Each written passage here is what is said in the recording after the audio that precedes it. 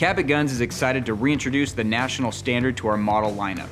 This stainless steel 1911 is, I really can't say it any other way, it's perfect. From the satin polished flats to the, the bead blast rounds, the walnut, we've got burled walnut grips on here. This is an amazing pistol that anyone would be proud to have in their collection. So there's a lot of little details uh, that have been brought into our model lineup recently and the national standard actually encompasses all of them. So we'll start at the front of the gun, work our way back, and show you all the little details that make this Cabot amazing. So starting off, all Cabots, uh, unless you're getting like a threaded barrel, we have our deep flush cut and crown. Well, it's not a deep flush cut, it's a flush cut with a deep crown. So you have a reverse crown barrel. Um, this is amazing because it just, it really makes the front of the gun look nice. But also what I found is when I'm shooting a gun with a, a deep flush cut crown, the gases tend to go more out to the front instead of curling around the side and keeps the muzzle of your gun a little bit cleaner. Um, as with all Cabots, the national standard has a, our reverse dovetail front sight. So one of the problems that uh, a lot of other pistols have is if you have a standard dovetail on the front, your front sight can walk to the left or right, and how do you really know if it's gonna be uh, centered or not or zeroed? So what we did is we actually machined the dovetail from the front, so the front sight is actually pushed in from the front. It's held in with tension as well as the barrel bushing. So this front sight isn't walking out on you at any time. Another standard feature of the national standard is gonna be our slide top serrations. They start at the front sight and point at it and go all the way back. And this does a couple of things. Number one, it just looks cool. Uh, but number two, it's gonna help cut down on glare on sunny days. Moving back from the front sight, we have our new Cabot Ledge rear sight. So this is pretty cool because it has a, it's a U-notch uh, tactical style sight. So I personally like shooting U-notches. It's a 140 width, so the pairing of the 140 with our front sight is gonna give you a little bit of, uh, of actual light on either side of the front sight post.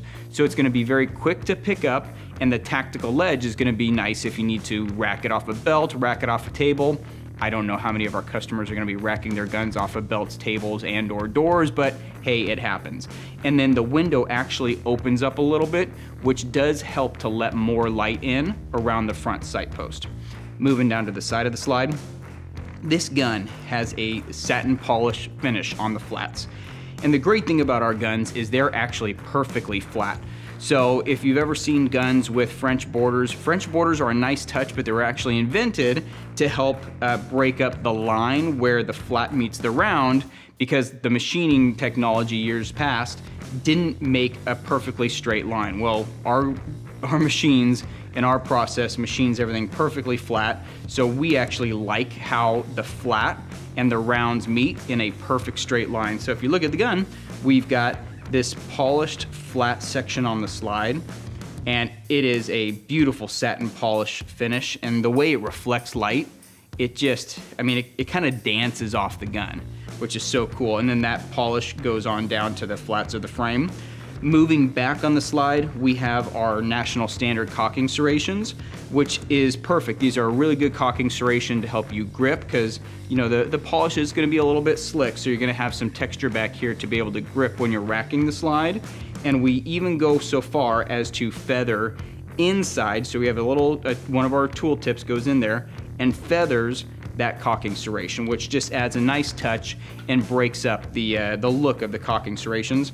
Moving around to the back of the gun, you're gonna see just how well our guns are machined to fit together. We have very high tolerances down to, you know, sometimes a thousandth of an inch and we actually machine our ejector in place. So the frame and slide fit is second to none, but we still hand blend the back of the slide to the frame because once you put the barrel in and you barrel the gun, there can be a little bit of variance there. So we blend the back of the slide and then if you go to the top of the grip safety, you can see we do a perfect blend on the top here to where the grip safety is blended perfectly when it's out.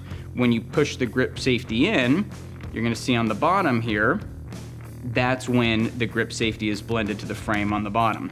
So what happens is when you're gripping the gun, when you press the grip safety in, you're not gonna feel any ledge from where the frame goes to the grip safety. Also kind of a cool touch, this is something unique, since we make our parts in-house, if you get down to the bottom of our hammer here, so we make our hammers and we make our hammer struts, when you get in and you see the top of the hammer strut, we actually put the same serrations on the on the national standard on our uh, hammer strut there that are on top of the hammer. So the serrations on the hammer are matched on the hammer strut. Now moving back around to the trigger, there's a couple of differences here to guns past. First off, we still have our iconic TriStar trigger. This takes a lot of work to, to cut these stars out. We actually use a wire EDM, which goes through and perfectly straight, electron by electron, cuts the metal with an electrical discharge. Um, it's a very cool scientific process. It's kind of like watching paint dry, but it's the only way you can get these stars to look like that. So our wire EDM trigger but what we've done this year that's different than in years past is we've changed the profile of our trigger. So typically, when you are wrapping your finger around the trigger, our old trigger um, was a bullseye style, so it had a nice bull nose, and the idea behind that was for your finger to hook around on that first knuckle and actually hook around the trigger. I actually have one here on a S100. So you can see how your finger would hook around and you could pull the trigger that way, which is great for bullseye shooters. It allows a lot of control. However, there's a lot of people that aren't bullseye shooters, myself included. And uh, what we've done with our trigger face is we've actually flattened it out and made it a little bit deeper and added serrations. So whether or not you're gonna be a bullseye shooter and hook around, you're still gonna have a nice feel. But if you're like me and you're gonna use the pad of your finger, your pad rests perfectly inside that spot and you're not gonna be sliding up and down on the trigger as you're pulling it straight back. So this trigger just feels amazing. I'm normally a flat trigger guy. This new front profile makes me a curved trigger guy again. So moving down below the trigger, we've actually added a soft undercut on the gun.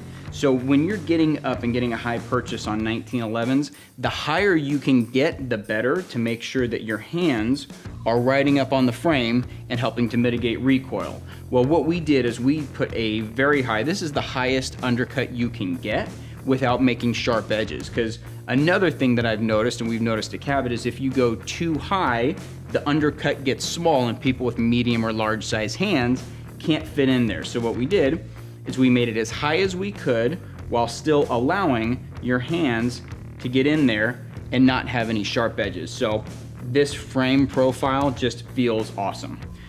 Moving to the front strap, we have our rhombus style checkering. It's a 24 LPI checkering pattern and we have a border on top and on bottom so that the checkering doesn't have, you know, it doesn't run off, it actually has a terminus. This is a really nice uh, look but the feeling on our rhombus cut, it's kind of like a tire tread. So if you look at tire tread and the way it works, your tires aren't necessarily trying to grip until they start to lose traction. You don't want your tires to be gripping the ground all the time because that's gonna cause you to have low gas mileage, all that stuff. Well, this design of checkering is the same way. As you're feeling it, you're not gonna feel grip on it based on the pattern, but as soon as the gun tries to move in your hand, your skin, okay, technically that's what's gonna make the, the grip happen, your hand and your skin um, actually goes into those grooves and it tightens up. So it's one of those things where a lot of people in like the 90s when they had really sharp checkering, if the checkering didn't bleed, you know, cause your hands to bleed, they said that's not good enough.